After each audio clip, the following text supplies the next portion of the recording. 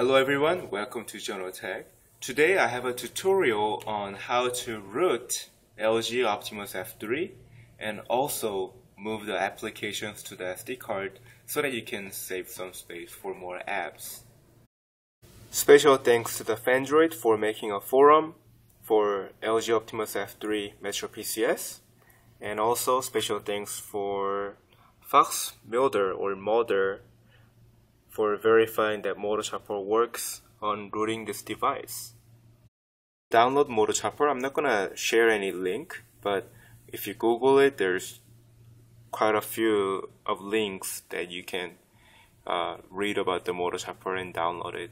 I'm just gonna click the hexamob.com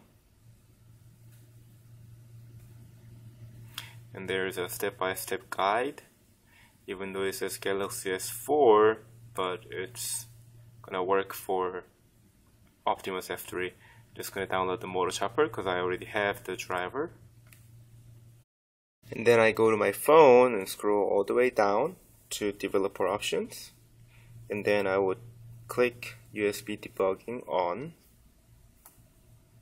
When you connect it to the computer it should show USB debugging connected now leave the phone connected and I am gonna click double click on run. Press any key to continue.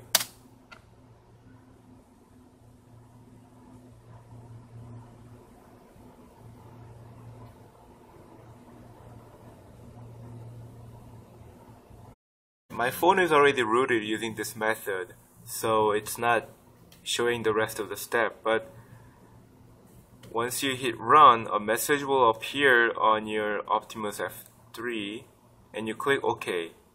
After a short of waiting you'll be asked to again click on any key and your phone will restart.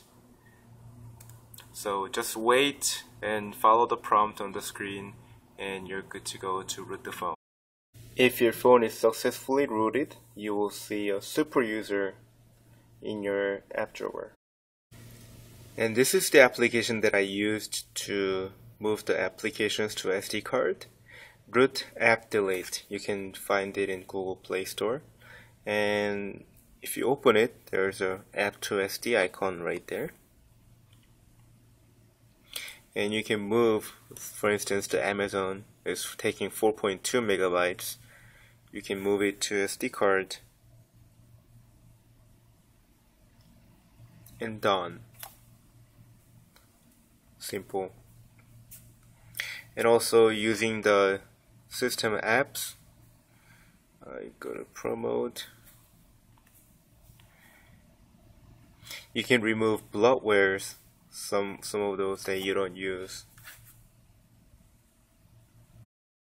Also there's a junk scan. I